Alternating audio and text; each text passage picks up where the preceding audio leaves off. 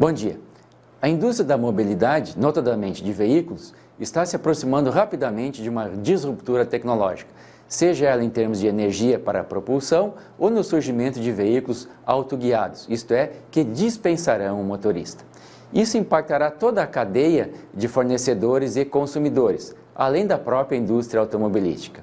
No que diz respeito aos veículos autoguiados, equipes da McKinsey, em artigo publicado na revista HSM Management, fazem algumas projeções, onde se destacam.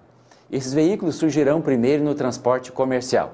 Os acidentes de trânsito diminuirão, as seguradoras alterarão seu modelo de cobrança, hoje muito focado na falha humana, haverá um desenvolvimento ainda maior da robótica e o surgimento de novas cadeias de fornecedores. Muitos serão suprimidos por defasagem tecnológica.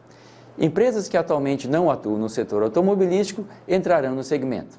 Oficinas, prestadores de serviços ligados a montadoras se fortalecerão, enquanto que os serviços independentes perderão espaço.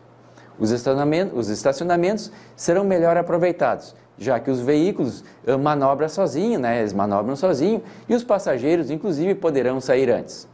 E já que não precisarão dedicar atenção ao dirigir, as pessoas poderão aproveitar o tempo para lazer ou trabalho, utilizando a internet, por exemplo. Tenham todos uma boa semana.